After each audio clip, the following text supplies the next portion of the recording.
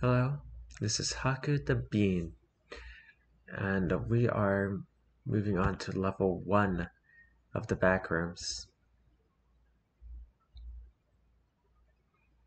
known as the Habitable Zone. This backrooms level is known for being safe, secure, and having a minimal entity count, or survival difficulty of class 1. Level 1 is the second level of the backrooms. Level 1 is a massive warehouse with concrete floors and walls, exposed rebar, dim fluorescent lights placed on the walls, and a low-hanging fog with no discernible source. The fog often coalesces into condensation, forming puddles on the floor in inconsistent areas. Unlike level 0, this level possesses a constant supply of water and electricity, which allows indefinite habitation by wanderers providing that appropriate precautions are taken. It is also far more expansive, possessing staircases, elevators, isolated rooms, and hallways. The fluorescent lights at any time can flicker and turn off for minutes or even hours. When this occurs, hostile entities may appear. These entities rarely attack in groups and tend to avoid light. If the lights turn off, it is strongly advised to try and navigate your steps. Try and avoid any strange noises and find a room. Make sure to bring in a light source with you. Crates of supplies appear and disappear randomly within this level, often containing a mixture of vital items food, almond water, batteries, tarps, weaponry, clothing, medical supplies, and nonsensical uh, objects, assorted car parts, boxes of crayons, used syringes, partially burned paper, live mice, mice in a, a catatonic state that have been injected with unknown substances, shoelaces, loose change, and bundles of human hair. The crates should be approach with caution due to their contents, but are a valuable resource. In addition, crude paintings and drawings with no apparent origin or meaning appear on the walls and floors. they are known to change in appearance and disappear with non-direct line of sight when unlit. The light fixtures within level 1 are prone to flicker and fail at inconsistent intervals. When this occurs, supplies are liable to vanish inexplicably and hostile entities may appear unexpectedly. These entities rarely attack in groups and tend to avoid light and large gatherings of people. It is advised to carry a reliable light source and sleep holding whatever items you do not wish to lose. Level 1 also serves as the entrance to the hub. Not that hub.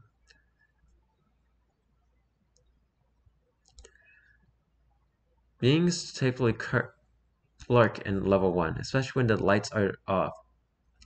Known beings on level 1 include dullers, adult facelings, hounds, skin stealers, and scratchers. I don't think I could find a scratchers article. I'll look into it. Colonies and outposts. There are currently eight known colonies and outposts in level 1. It should be noted that attempting to meet up with these colonies will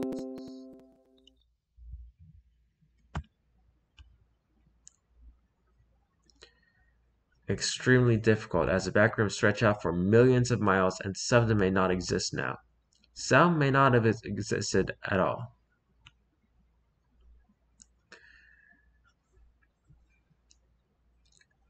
The Raiders, recently discovered group with a with an expected number of uh, 68 eight members. Almost. That of fire. Anyway, they are most friendly with regular travelers and are willing to trade, but will shoot down members of certain groups. Currently, they're not very strong, so they get knocked out after being suspected of making an alliance with the partygoers during Operation End Party. Apparently, the main objective is to eradicate every big group in the backrooms, claiming that adding corruption or politics in the backrooms would make it an even worse place. They plan to get bigger and bigger by, by stealing and taking over colonies and outposts. This, however, failed when they tried to steal outposts Fun Time. Although recounts don't show this, a camera footage has been found. Six raiders were killed in this incident. This led to this led to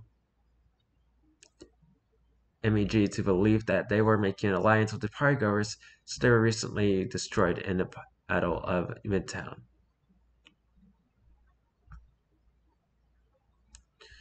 Ace flickers, this ace flickers of the backroom colonists. Relatively a small base, owned by the main group, running and open into trade.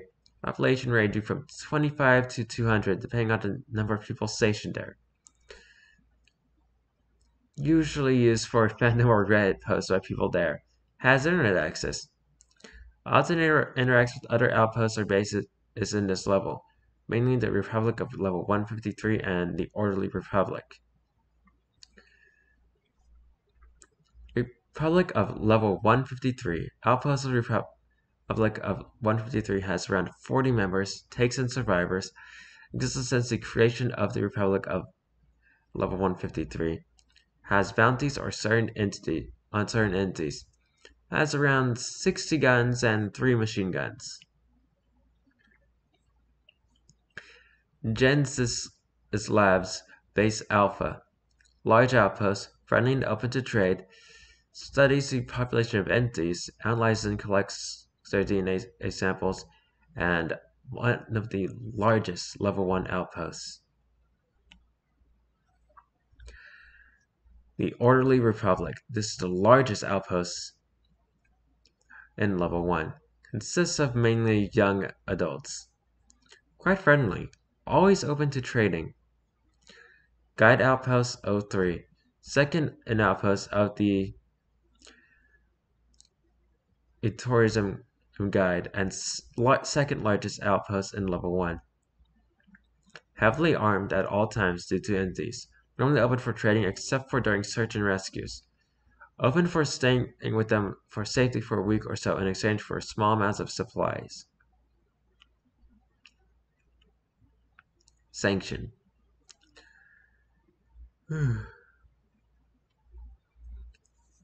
previously, previously hidden behind a false wall roughly 98 meters or 321.522 feet southeast from the exit.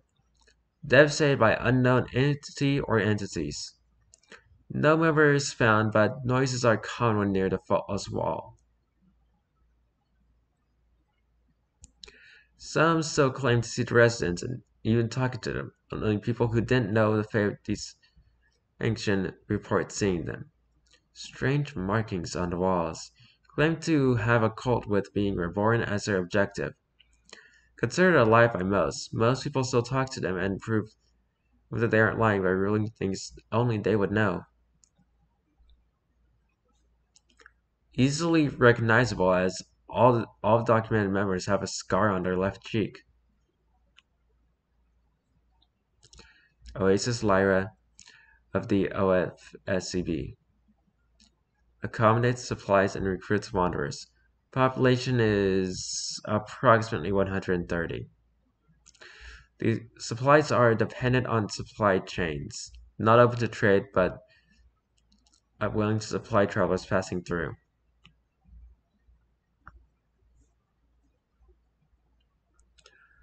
Level 1 has many entrances. Opening ordinary doors in many levels has small chances small chance of leading to the level. One is able to enter this level from level 0. no clip in level 1.5 to enter this level. That's a sub-level. Unstable, excuse me, unstable flooring in level 30 13 indicated by visible odd textures the floor possesses may lead to this level if one can no-clip through it.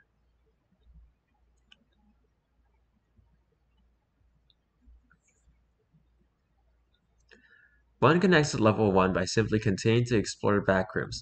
Level 1 usually leads to level 2, or back to level 0. Other methods of exiting the level are as follows.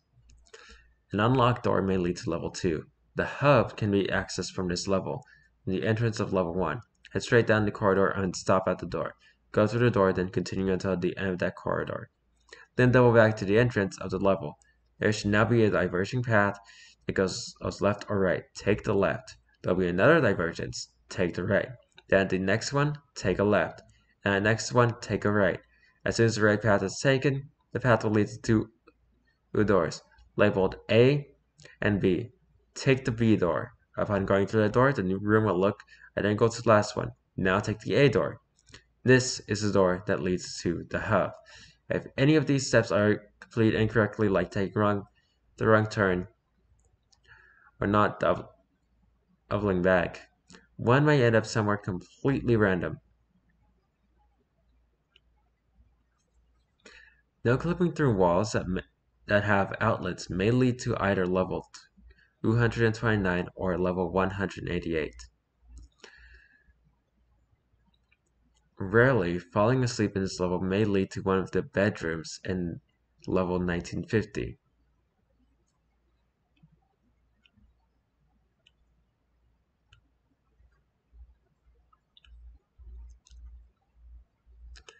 There are a few entities that were mentioned and to be on level. And I think the hub might be something that needs a bit more explanation.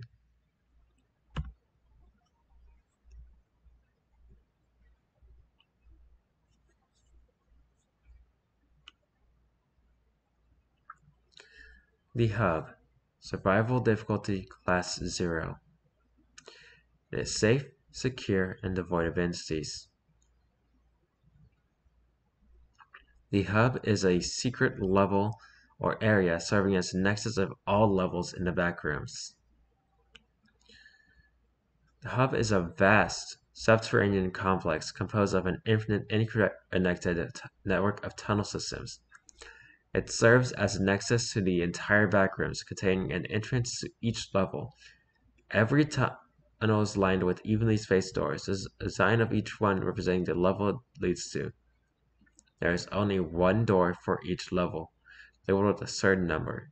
Every door can be unlocked with its respective level key, labeled with a number corresponding to that of the number on the level door. However, all doors to have previously been manually unlocked always become locked again for any subsequent entrance into the hub. Only a small a handful of doors remain permanently unlocked, those being levels 1 and 11.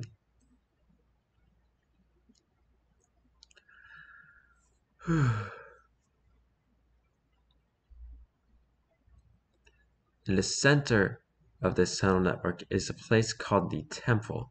It is a structure with distinct Greco-Roman art architecture, serving as a house of worship to the Keymaster. An imposing marble statue erected in the likeness of the Keymaster lies in the temple's main hall. Cultists of the Keymaster congregate here to pay tribute. Many do so in the hopes of receiving a level key to one of the hub's doors, while others hope to be unlocked by him, receiving blessings and boons which grant them immense power.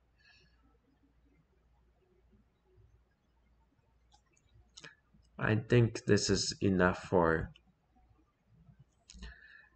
now. We can go over this in depth another time.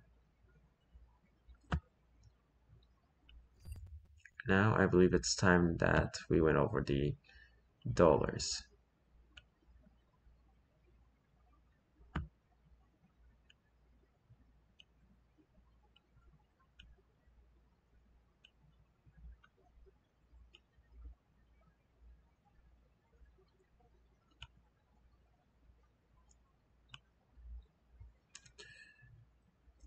Entity Hazard Class 4.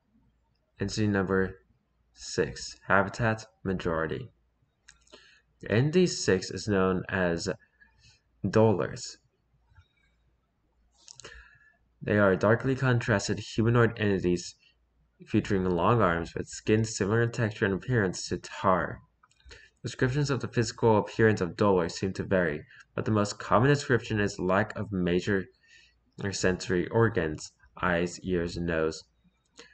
The substance of the skin is composed of is in a constant state of toggling from a liquid to solid, making it slowly drip down. down. Dullers can melt and reform their bodies, usually as a trap to catch prey. They range from them being more liquid than normal to be a gray puddle. Uh, do not go near any dark puddles that you may find, as it is, as it is most likely a trap by a duller. If you go near it, the duller will form an arm out of the puddle, quickly wrap it around you, and pull you into the puddle. Those who have went into the puddle were never seen again. Well, then become docile and start hunting again after a few days. This is seemingly because dragging victims into the puddle is how dullers eat, and that would be enough to feed them for a few days. The theory is unconfirmed but highly likely.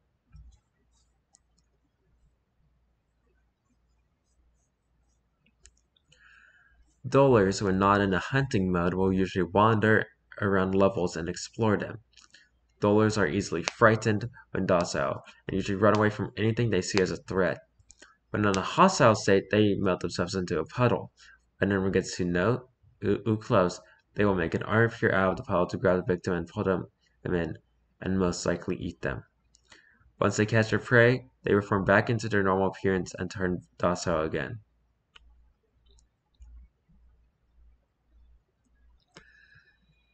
Dullers, as said above, are humanoids made out of thick gray liquid that slowly drips from their bodies. They are missing several features a human and would have, like ears and hair.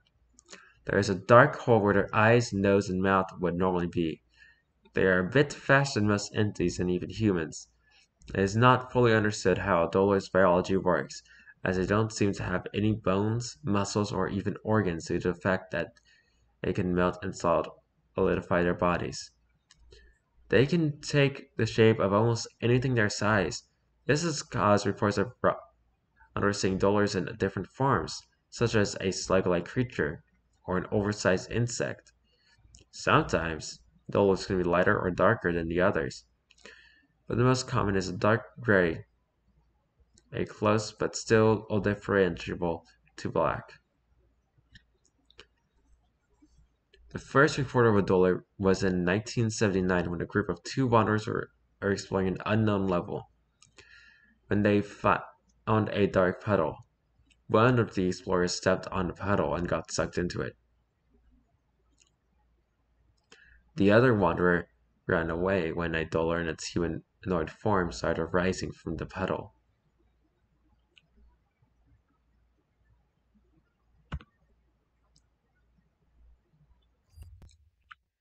Next, we have facelings.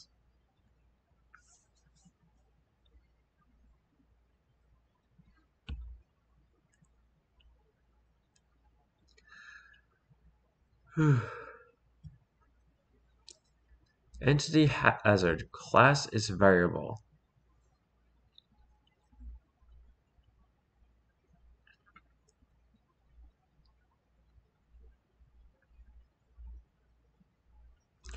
Facelings are a general term for faceless people that roam the backrooms. There are multiple types, each with different levels of hostility. They're one of the most populous entities in the backrooms, and likely one of the first entities one encounters. The most common two forms are adult facelings and child facelings, although more have, been, have since been discovered.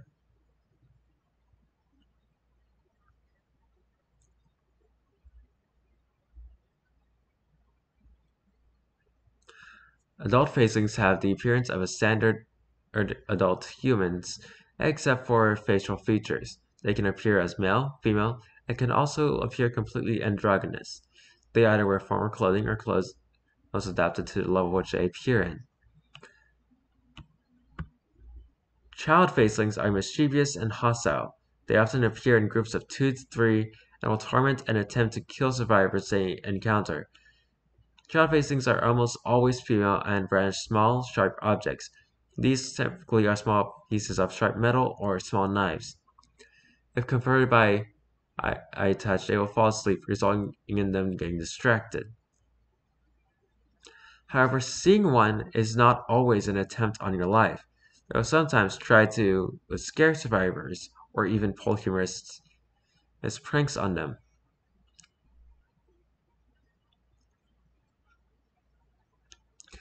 Due to the number of facelings present throughout the backrooms, significant mutations can occur to those entities. Many different entities arrive from facelings. Some of these have actual mouths, eyes, and noses, and, and might totally differ er, from regular facelings.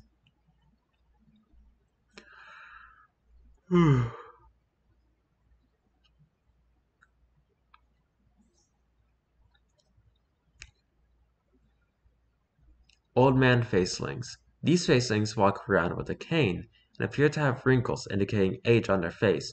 They are very slow and, while harmless, will attempt to check you out. They will touch your face and body to attempt to figure out what you are. Just briskly walk away if you don't want that.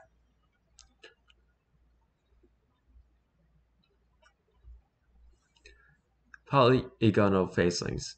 Similar to adult facelings, but with a polygonal-like body. They have the texture of plastic and emanate a sound similar to static.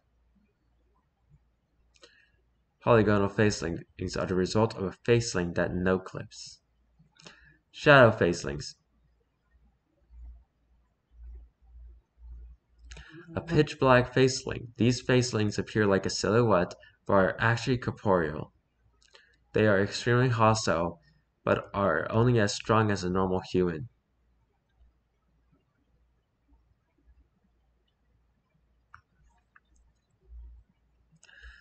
Behaviors. As for as aforementioned, the facelings can be divided into adult and child facelings, and their behaviors also differ depending on their age, and actually sometimes even just depending on what level you might find them in. Adult facelings are friendly and do not act with hostility unless provoked. They are quiet individuals and generally avoiding interaction with humans and other entities rarely seen exploring levels. Most of them live a set sedentary life throughout the backrooms. Child facelings are usually mischievous and and hostile. They often appear in groups of two to three and will torment and attempt to, to kill survivors they encounter. If attacked, adult facelings will try to protect them and begin to act hostile to the, a wanderer. They only appear friendly to younger or wanderers if lost from their groups. They will search an, adult faceling as protector, as protection. Facelings are one of the first entities ever discovered and in the backrooms. One of the earliest mag reports ever written referenced them. Journal entry is referencing facelings date back to the year 2004 their exact reference is still unknown. Rumors say that an inhabited in the backrooms before humans explored it, but no reports back this hypothesis.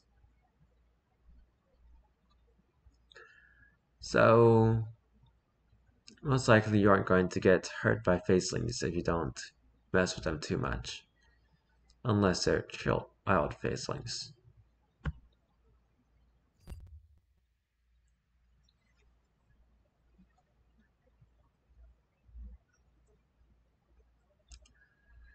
Hounds in the Hazard Class 4.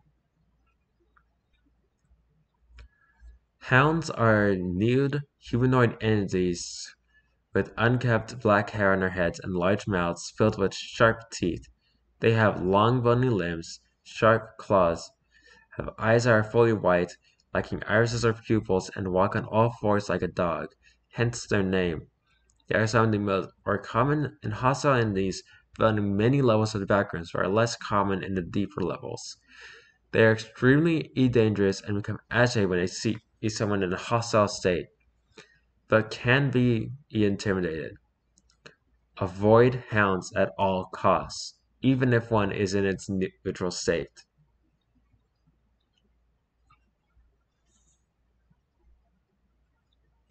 Hounds will hounds become hostile the moment they see a human.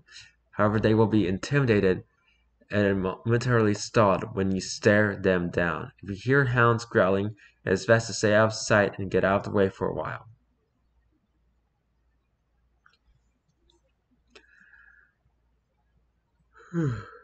Hounds are quadrupedal humanoid creatures with long black hair growing on their heads. They have razor-sharp claws and extremely large mouths filled with knife-like teeth. The pearly whites often go unseen until it is too late for you, though, as their lengthy dark hair usually hides this feature. As mentioned above, they walk on all fours and have a surprising amount of power when they attack a target. Despite appearing sickly skinny, they appear to have a skin condition that resembles mange and are observed scratching or gnawing on their skin to rid themselves of itching.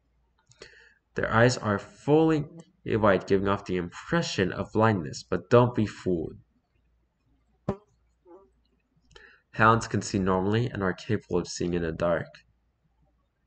These entities hatch from eggs that originate from the hive it's imperative to one survival that they avoid getting bitten at all costs, as their saliva contains a, a disease dubbed hound virus that will infect and turn the bitten into a hound as well. Incubation periods can last from 5 to 7 minutes. Symptoms are as follows. Discoloration or burning rash around the bite wound, migraine, rabies like symptoms, difficulty swallowing, foaming at the mouth, etc lightheadedness, mild to intense muscle spasms, which can also lead to cramps, increased aggression, stomach cramps, vomiting, mange-like skin disease that covers the body. Approximately 20 to 30 minutes after symptoms appear, the infected eh, its body will reconstruct to match that of a hound. The process is visibly and auditorily excruciating, as normal human's teeth and nails are painfully pushed out and replaced by fangs and paws, whereas hands and feet are reconstructed to more to move exclusively on all fours. Amidst the transformation, rapid hair growth will occur on the body and eyes lose pigmentation. Afterwards, they will enter a feral and hostile state, complete transformation.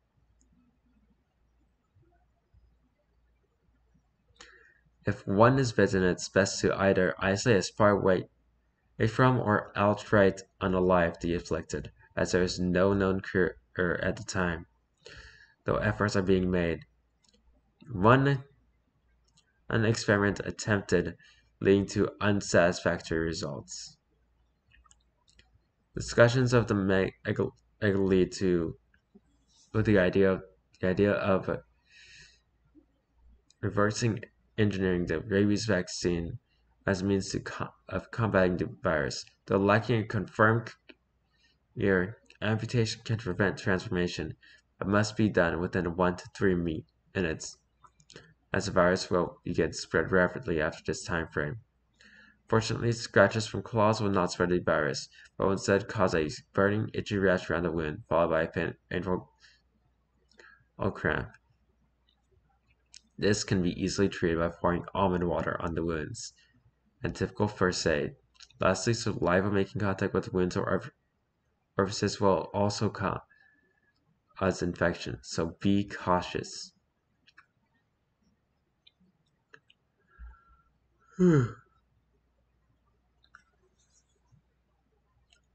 One of the earliest known video recordings of the backrooms depicted a wanderer running away from a hound in an area that resembled level 0. However, since we don't know when the hive was spawned, if it even had a beginning, we can't determine the exact origin of hounds at the time.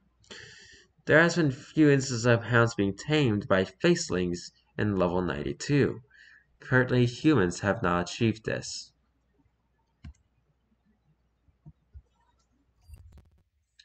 Now we move on to the skin stealers.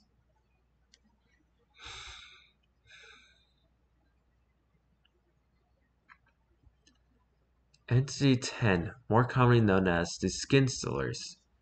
Oh wait, I forgot to say. Entity hazard, class 5.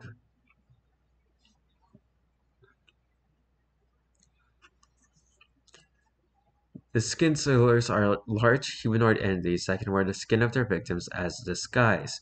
They eat human flesh when in a hunger state and otherwise roam if they do not eat, need to eat. Their blood is translucent and they can mimic human speech. They are most commonly found on the first fourth levels, but have been reported in other levels. They have impressive physical abilities that seem to compensate for their poor intelligence. Skin stealers are typically docile creatures and will wander if they do not need to feed it. In, this stage, it will not be hostile unless you aggravate them. In a hungered state, they will seek out humans wandering alone and then use their strength to tear them apart with their hands.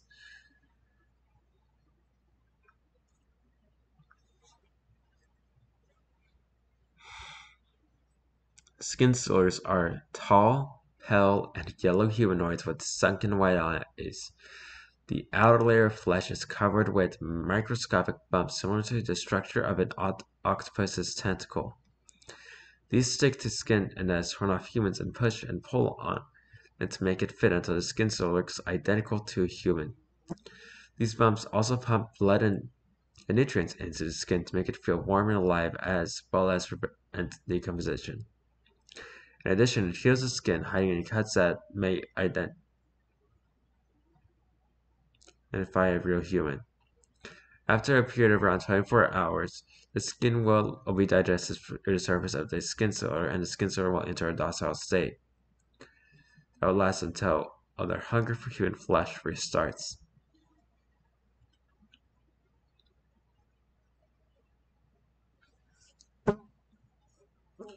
A skin stealer can also speak, but it can't understand our language. It will repeat what it hears often, and in varying languages to learn prey, but can't communicate. Although since its typical insular rarely uses a voice, this is not a good way to tell them apart from real humans. The blood of a skin is a complete translucent, so a good way to identify a skin from an normal person is by their blood.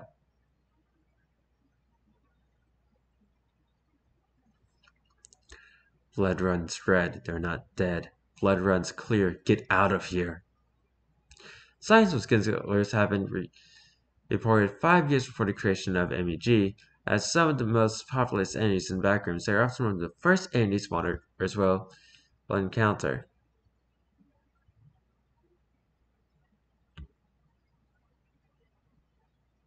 Oh yeah. I want to talk about smilers and partygoers. Let's do that really quickly.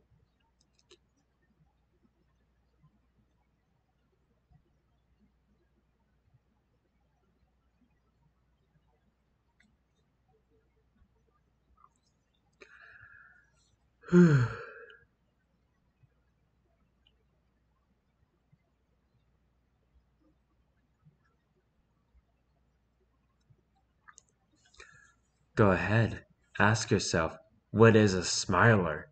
The truth is that we don't know. Nobody knows. Smilers are an enigma, something that perverts our expectations of how a smile is put together, something that feeds on our primordial fear of the unknown. Speaking of uh, from experience, smilers don't hunt humans for sustenance. The paranoia that we feel when meeting them satiates them enough. They kill because they simply love it. Paranoia and fear are their dinner, but cutting someone's life short is their dessert, if you will. That's from MEG Lieutenant Sigmund O'Connor. Class of this entity is variable, and they like dark areas within the backrooms, which in almost every level there's going to be some there are lots of places where they can be where it can be dark enough for a smiler to inhabit. Smilers are an inscrutable species of mysterious entities, simply identifiable by their crooked smile of softly luminescent white teeth, along with a pair of circular eyes. Regulations, artistic depictions, and proposals regarding the true physical appearance and anatomy of the smilers have greatly conflicted throughout the years. However, even after countless attempts to discover what the true body of these monstrous as look of the, these monstrosities looks like, nobody seems to be to get a clear read on anything more than a smile and a pair of eyes.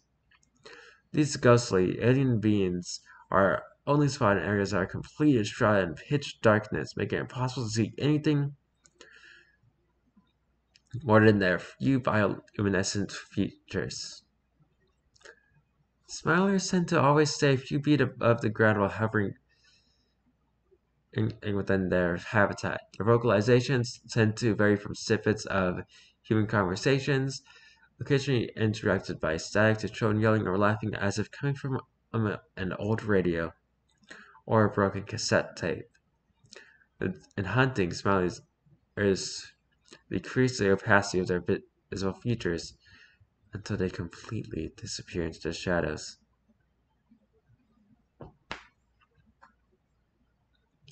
When not hunting, smilers are found substantially less, substantially less frequently than usual, presumably resting within the darkness that serves as their territory. Those that are awake and not hunting tend to stay completely motionless and passive, not paying attention to passerby until hungry or in need of sport.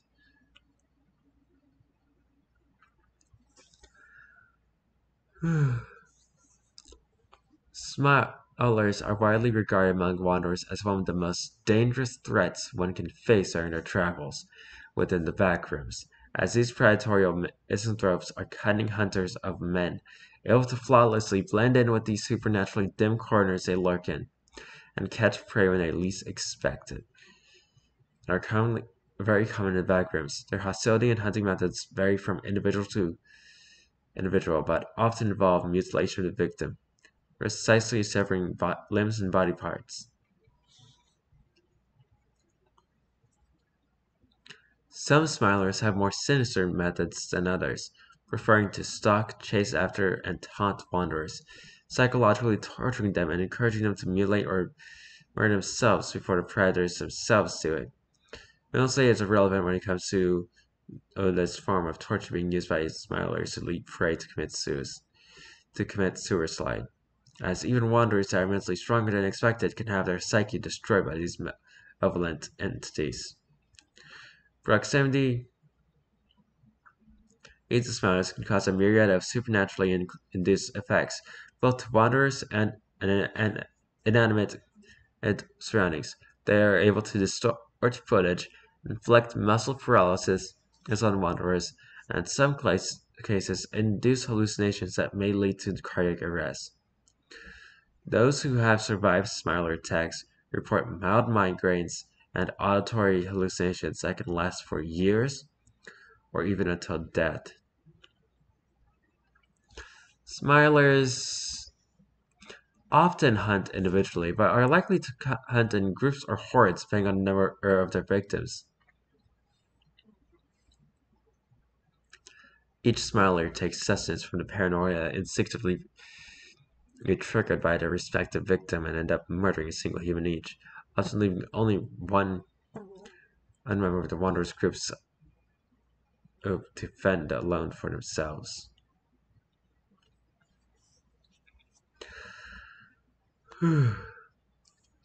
How a smiler is put together.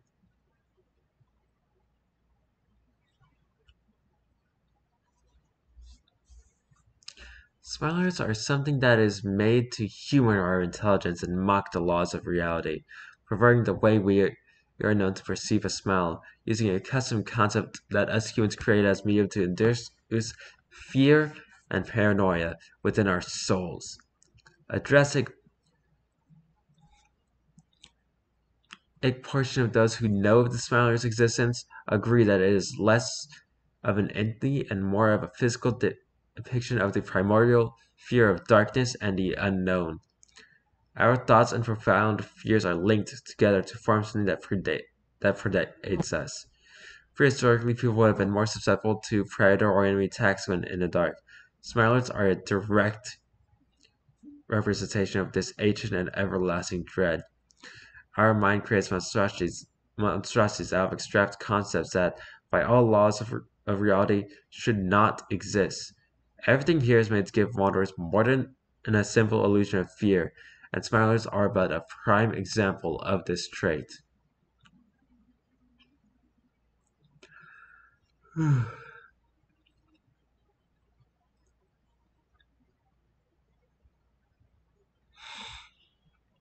As mentioned before, there is currently no photographic or video evidence of a smiler's true anatomy or body aside from the memorable features. It is very likely that smilers aren't, aren't organic or robotic, but rather a form of spectral anomaly.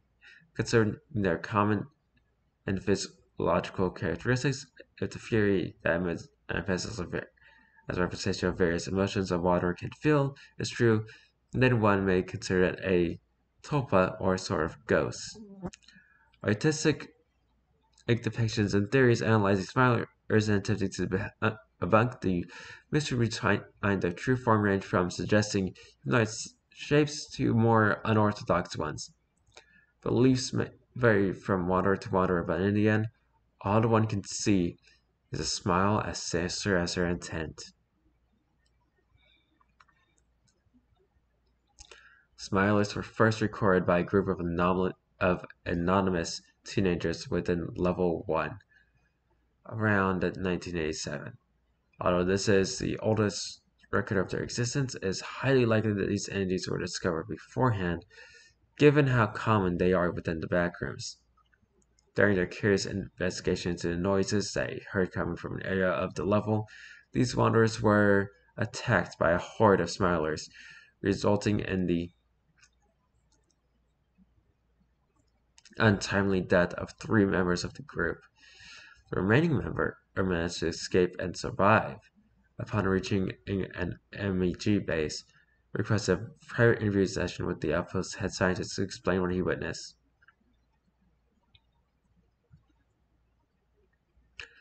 A note was left by the wanderer summarizing the uh, encounter.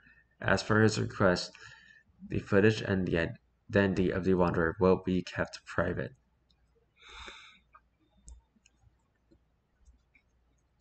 I was beginning to lose my sense of direction and time mentally.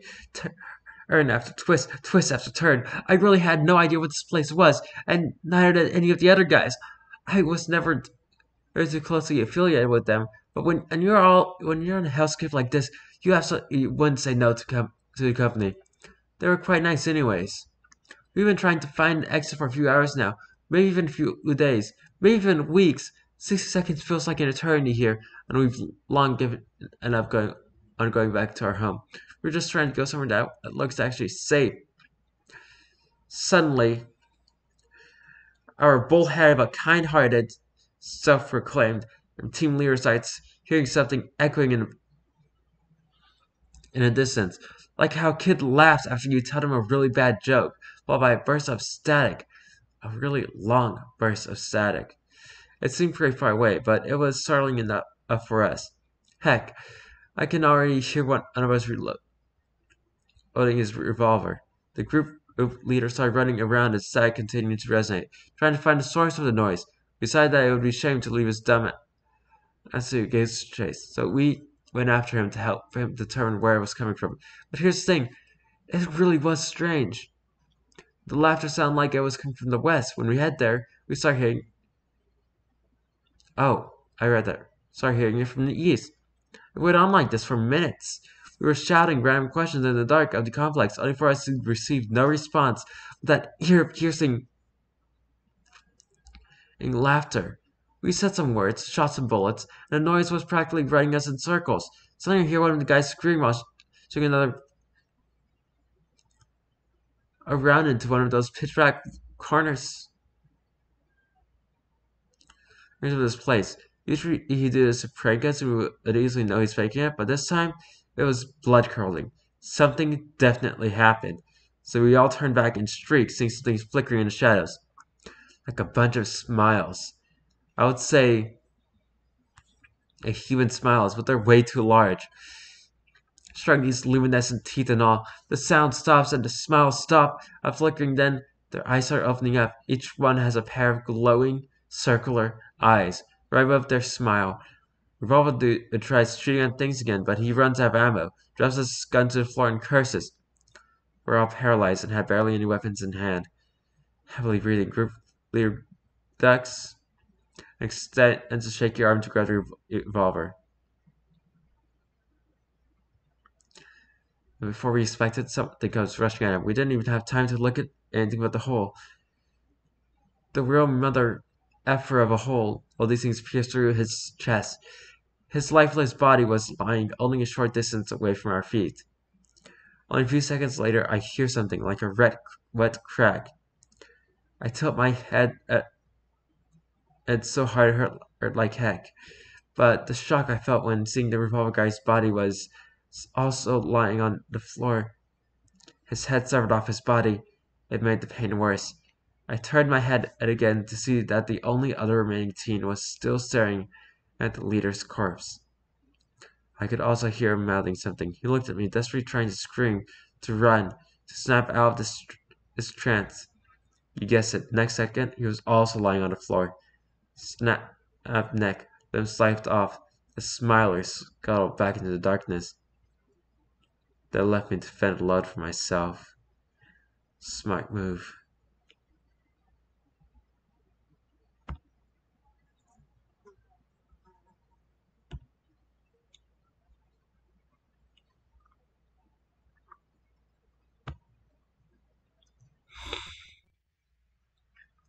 Now we're moving on to the backroom colonists.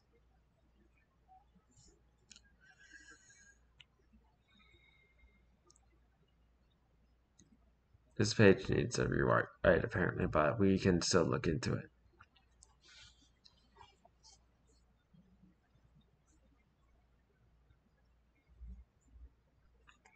The Backrooms Colonists is a, a multi-nation and, federation of backrooms that has existed since the 1920s, with the group being formed around the, the Den and Capital, based at it in level 1.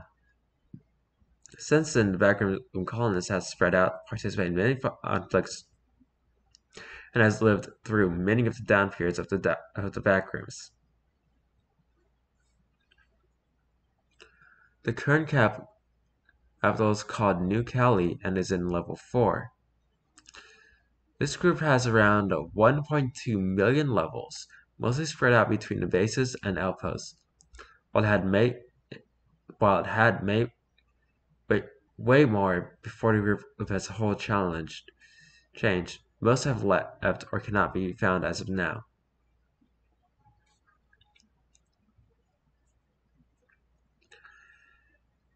The group received a reformation, with many outposts and bases being scaled back and left out for others to claim, and many reformations in the terms, rules, and more.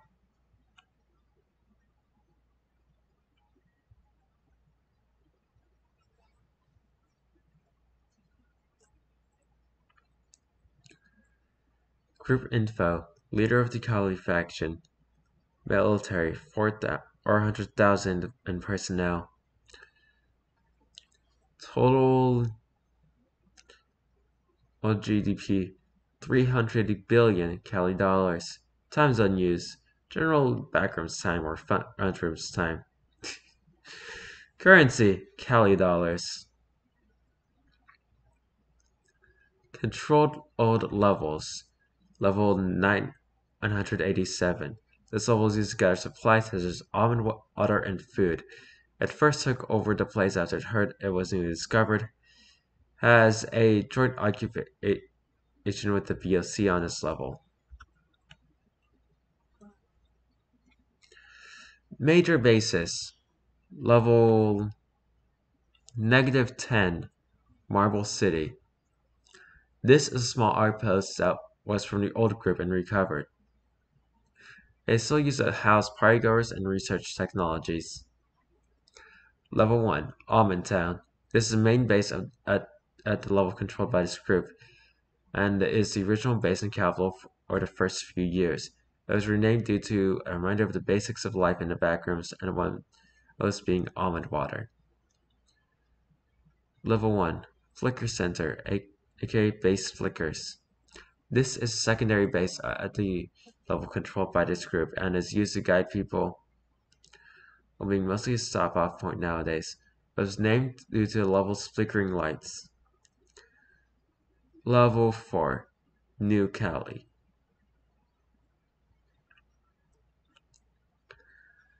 This is the capital of the back Acrom's colonists and is used to command the entire group as a whole. It is mostly used for government buildings, technology, testing, and a small industry as it's safe. Its name is suspected to be random or named after something in the front rooms. Yeah, I can kind of guess what it's named after. Level 4.7, Calibora. Calibora is an outpost that uh, is a base to it having being associated and linked with New Cali, the capital. It's used for trading and a safety area back in the older days of the group. Its name is suspected to be named from a founding member of the outpost in Cali. Level 11, Skyline City. This is the main base at the level controlled by the group and is where most people in the group live.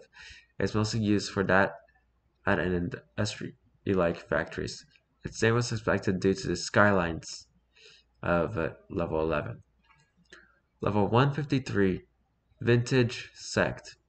The main base at the level controlled by the group is so relatively easy to reach during the beginnings of the group and has kept being and has kept a main base through the hub. Its name came after a level after the level being a vintage office. Level 290, Cinder Maze. A recovered outpost from, from the old group. It serves minimal purpose except exploration and having a small almond water stock and bunker area. Currently used more used to explore more herbs level and house people temporarily. Level 1237.1 New Adventure or Galley. A nautical outpost serving the the purpose of documenting the level, trading, and helping wanderers, named after the front room's vessel, Adventure or Galley.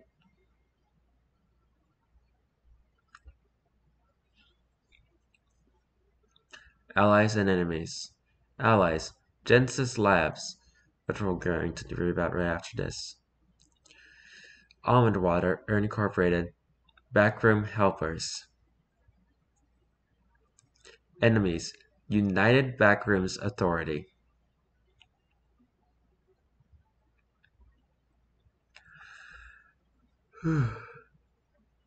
Leadership and hierarchy. The people of the backrooms on this vote at one of the main bases or outposts also leader at every 15th of February.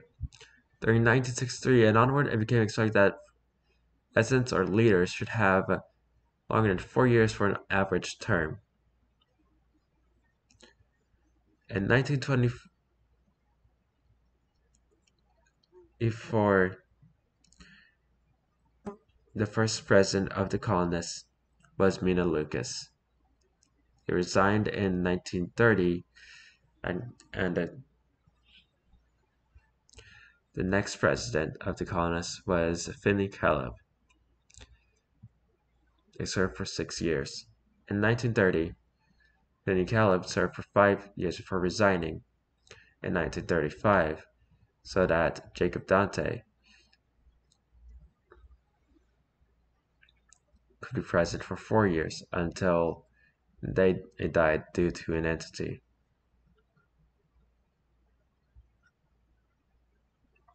In 1939, Alex Graham was uh, voted into presidency for three years until they lost the next election.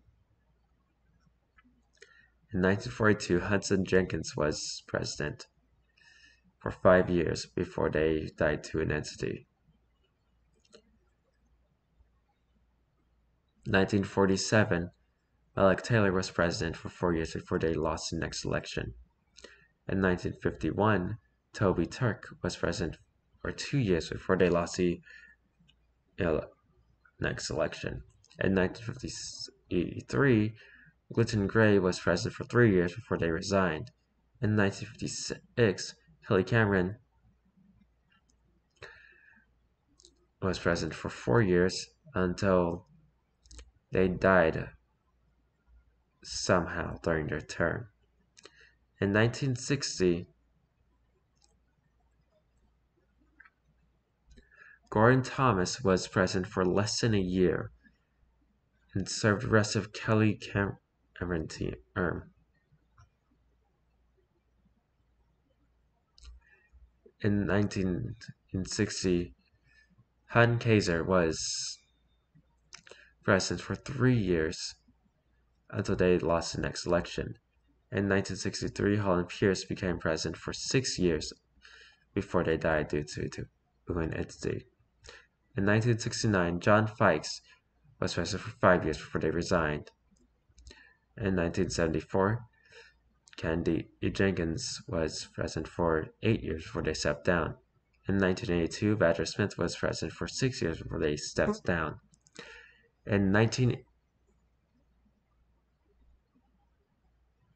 in wait, Candy Jenkins was eight, 82.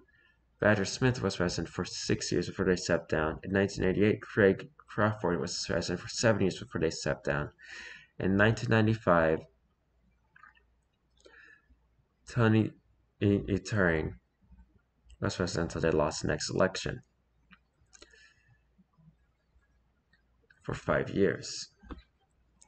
In 2000, Prince Fleming was president for nine years before they stepped down. In 2009, Duncan Fikes was president for eight years before they stepped down. And from 2017 till further notice, Harding Fitzgerald is president.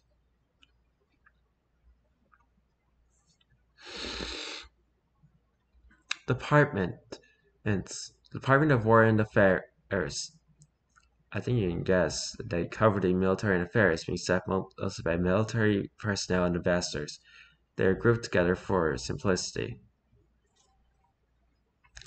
Department of Control and Expansion covers ministers, governors, and small registered groups that control all entities and secure and form new outposts. And also they used to police 70 colonies. Department of Development covers development of, of the outpost in terms of economy and, and usually runs government and owned businesses. Also, they can grant small funds to certain people for development. Department of Exploration covers explorer groups who discover new levels. Currently, they are trying to find any lost backroom colonist personnel from the old group or any outposts that were forgotten about.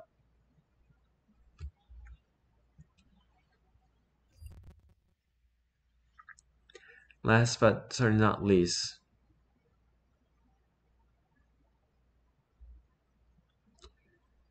GenSys Laboratories.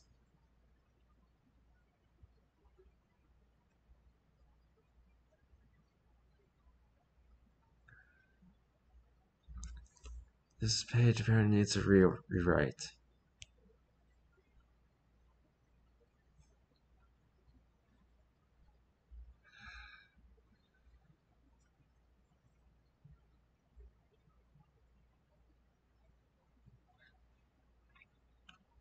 But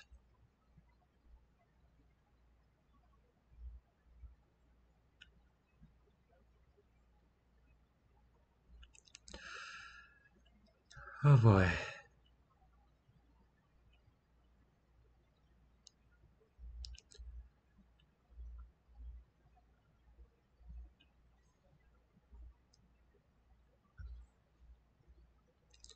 at least the description and maybe the history. But the conflicts and wars we might want to skip over due to that being a lot.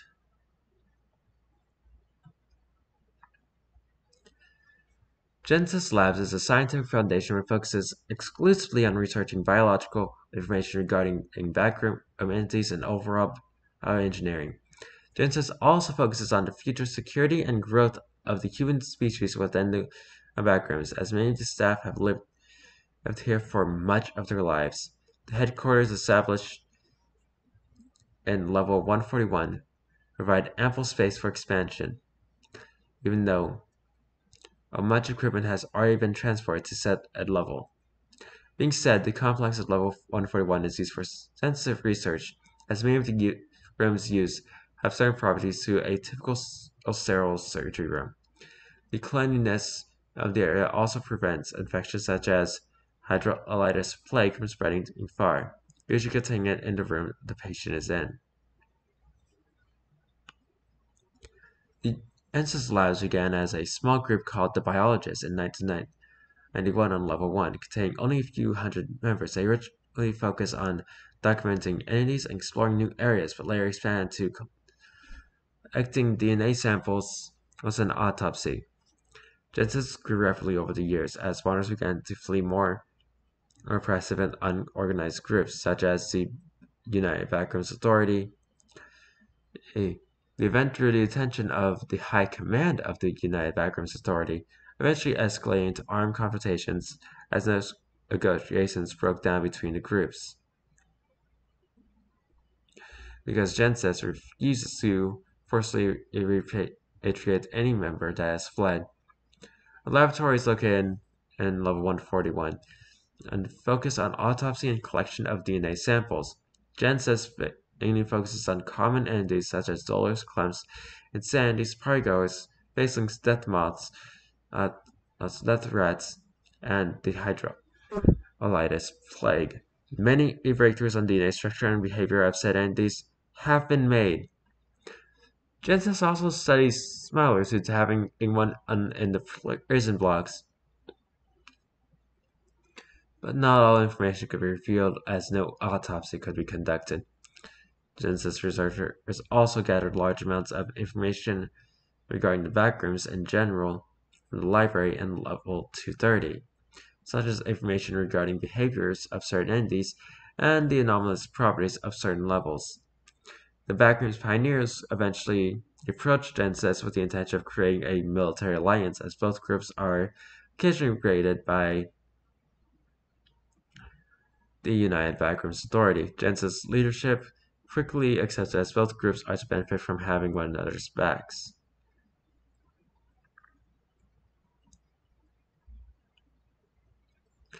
GenSys its only use of is 5.56 millimeter or rounds as being universal ammunition adduction safe. Apes production time. A few old guards of GenSys were originally engineers and weaponsmiths, allowing GenSys to produce its own firearms.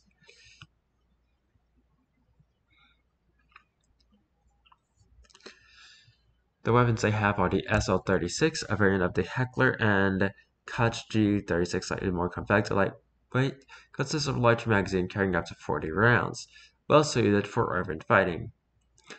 FM MVZ.28, a variant of the Mini M249 hatchet, longer and heavier but now used, uses mostly plastic and aluminum components, designed for infantry support roles such as for icing fire and stopping light frontal assaults. RK-44, a variant of the Kalash Nikov AK-19. Not much has changed except for the wood structure, which are now switched to plastic structure, well suited for forest or jungle operations. ACL-R, a domestic design, ACL-R is a semi-auto bolt marksman rifle with 10 rounds for each magazine. This rifle has a very high muzzle velocity of 2,000 and meters per second, allowing accurate fire at huge distances. Due to using 5.56 ammo, fire rate is high combined with accuracy, but lowers the lethality of the shot. MG151 slash 20, a modernized version of the original MG151 slash 20, the airborne autocannon. This weapon is designed for defensive purposes and fortresses as although 20 EM fragmentation guns work well in almost all circumstances, gunsmiths were not able to produce a mobile variant.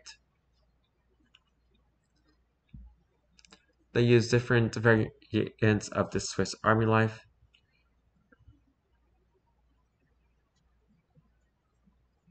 Genesis militia with around 400, no, 40,000 men is the military and police force of the organization, GenSys ground forces are stationed in bases.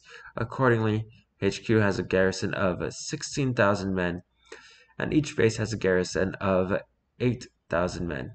GenSys guards are not mercenary sort forces, meaning they are not for hire or to be used in foreign conflicts. Though the military may not be big, GenSys has the option to expand its fighting force in case of an infestation or attack by hostile faction as all personnel receive enough weapons training to not end in a slaughter if actually sent to battle. Just as outposts and bases are all equipped with defensive systems, as Jen GenSys does not focus on aggressive expansionism, but remaining capable of defending itself. And we're skipping over the conflicts and wars to see the lab outposts, and the relations.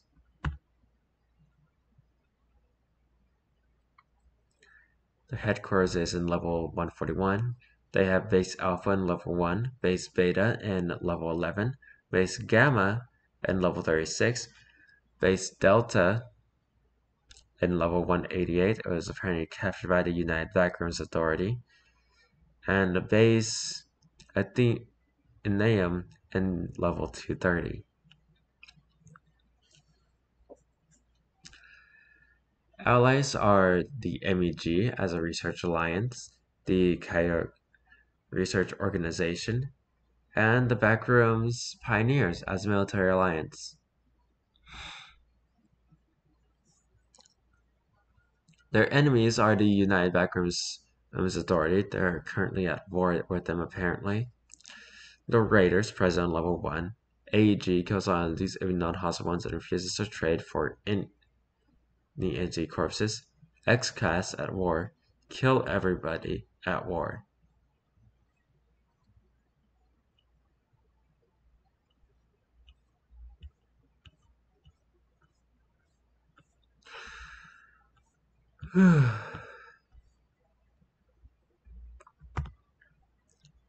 this was a long one. This has been an hour of me going through the organizations, entities, and other things relating to Backrooms Level 1. I hope you enjoyed.